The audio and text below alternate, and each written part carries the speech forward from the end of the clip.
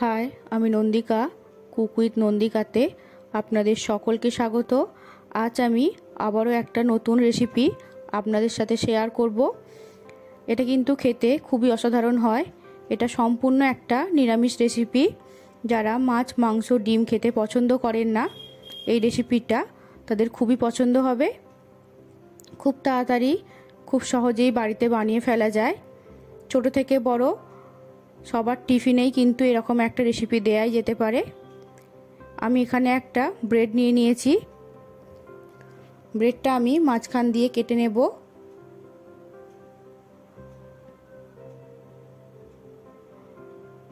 আমি বাকি ব্রেডগুলো এভাবে ঠিক কেটে নিচ্ছি। ভিডিওটি না কেটে পুরোটা দেখার অনুরোধ রইল আপনাদের কাছে।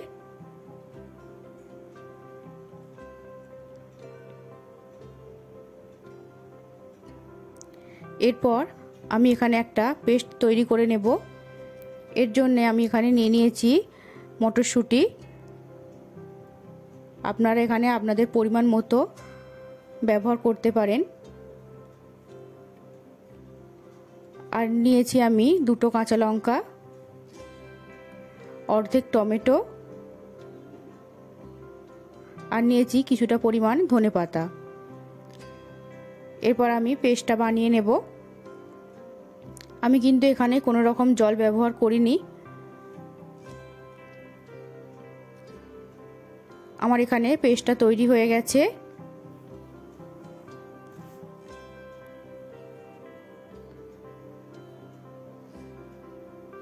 এরপর আমি একটা বাটির মধ্যে পেস্টটা নিয়ে নিয়েছি।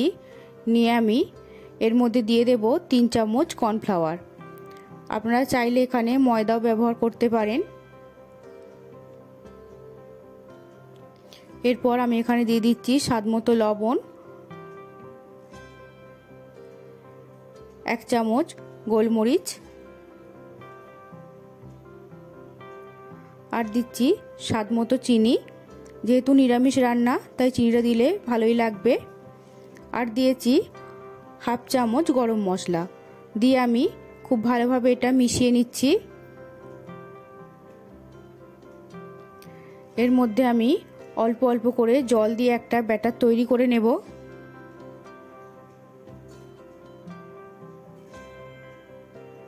খুব ভালোভাবে মিশিয়ে নিতে হবে। যেহেতু কর্নফ্লাওয়ার আছে, নাহলে দলা পাকিয়ে যাবে।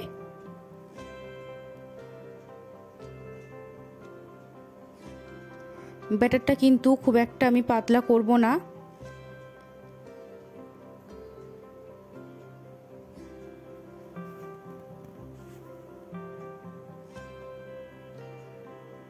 ব্যাটারটা আমার রেডি হয়ে গেছে। এরপর আমি কড়াইতে তেলটা গরম বসাতে দিয়ে দিলাম।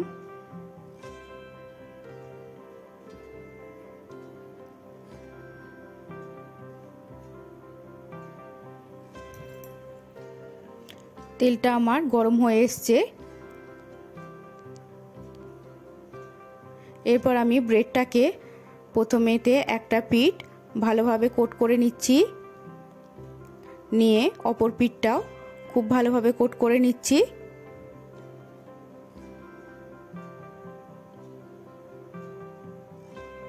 এরপর আমি তেলের মধ্যে দিয়ে দেব। আমার চ্যানেলটি যদি আপনাদের কাছে ভালো লেগে থাকে, তাহলে আমার চ্যানেলটিকে প্লিজ লাইক করবেন, কমেন্ট করবেন, আর সাবস্ক্রাইব করতে ভুলবেন না। পাশে থাকা বেল আইকনটি অন করে রাখবেন, যাতে সমস্ত নোটিফিকেশান আপনাদের কাছে আগে পৌঁছে যায়।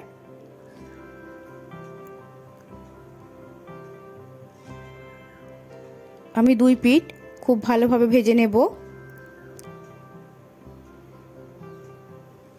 আমার ভিডিওগুলি যদি আপনাদের কাছে ভালো লেগে থাকে, তাহলে আপনাদের ফ্রেন্ডসের সাথে ফ্যামিলির সাথে শেয়ার করতে ভুলবেন না চ্যানেলটিকে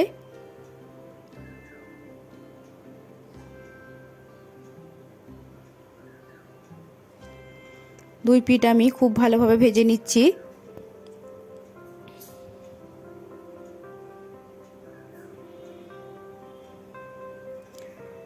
আমি কিন্তু হিটটাকে পুরো মিডিয়ামে রেখেছি।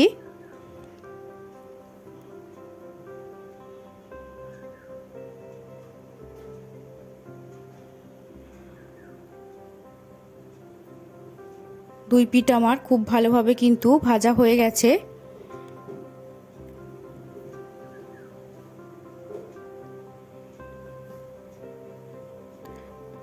আমার রেসিপিটা যদি আপনাদের কাছে ভালো লেগে থাকে, তাহলে ভিডিওটি ছেড়ে যাবার আগে প্লিজ একটা লাইক করে দেবেন। আমার ভাজা হয়ে গেছে। এরপর আমি কড়াই থেকে তুলে নিচ্ছি।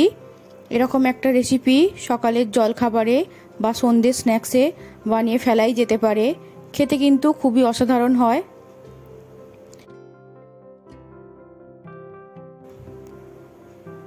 আপনারা সবাই এরকম একটা রেসিপি বাড়িতে তৈরি করবেন এবং কমেন্টে জানাবেন যে কীরকম হয়েছে। ভিডিওটি দেখার জন্য ধন্যবাদ।